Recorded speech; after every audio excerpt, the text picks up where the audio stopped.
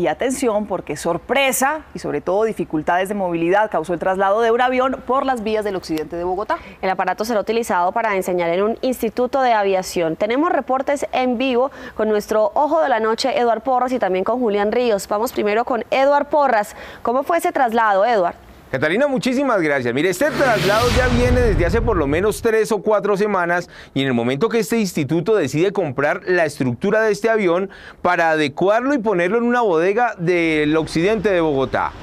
Durante varios días han trabajado, han trabajado precisamente desmontando la sala, las ruedas, dejando varias bases para que en tres bajas comenzara este operativo.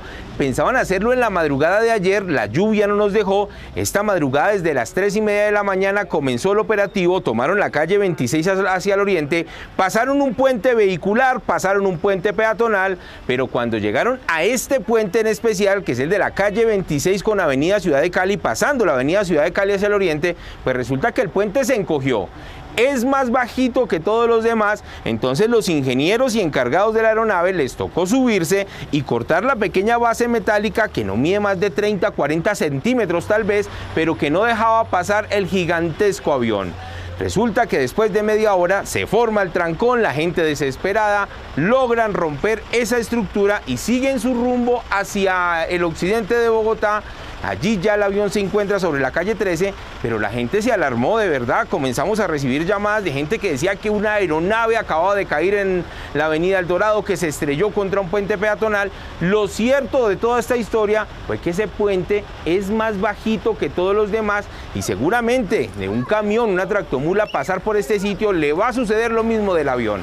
En unos minutos les voy a tener más detalles y hablamos precisamente con el gerente del Instituto Educativo, el general Patiño, ¿lo recuerdan? El comandante de la Policía de Bogotá, excomandante, quien nos contará detalles de lo que ocurrió con el traslado de este avión.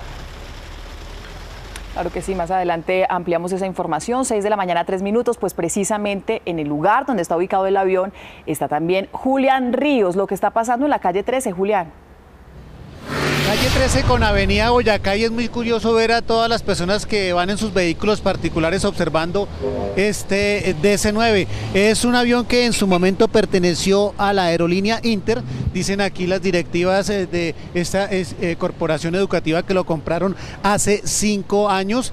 Eh, estaba siendo trasladado eh, como lo dijo nuestro compañero Eduardo Porras esta mañana, sufrió varios eh, percances para poder pasar los puentes, pero ya llegó finalmente aquí a las aulas educativas. Está entrando las alas en este momento, que con un gran operativo de policía tenemos eh, varias camabajas en las que se transportan varias, varias partes de este avión. Y nos encontramos aquí también, están las directivas de la educación de este centro educativo que nos van a explicar muy buenos días, eh, ¿me recuerda su nombre? Buenos días, Joselín Zárate. Joselín Zárate, ¿por qué transportan ustedes todo este avión así grande y no lo desarman?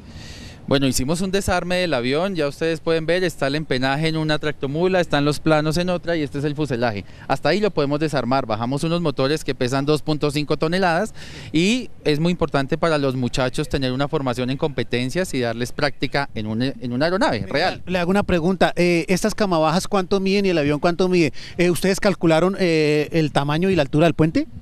Todos los puentes estaban calculados. El avión tiene una altura de 4.6 metros, así que teníamos que pasar por algunos aviones que tenían 5, por algunos puentes que tenían 5 metros, 5.2 y 4.5. Todos nos daba según el cálculo realizado, pero pues pudimos evidenciar que hay una mala señalización en algunos puentes porque el puente que nos generó más complicación fue el puente que tenía 5.2 metros, o sea, el más alto fue el que nos complicó. Pero no chocaron ni tuvieron ningún percance.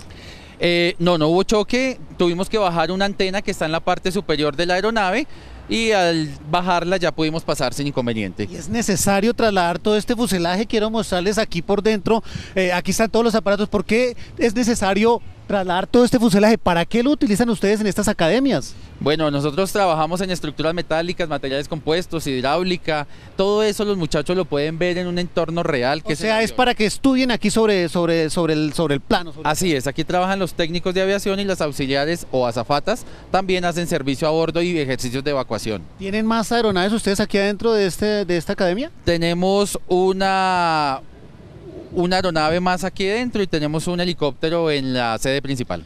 Bueno, muy bien, pues es la explicación que nos ha entregado aquí el rector de esta Academia de Aviación.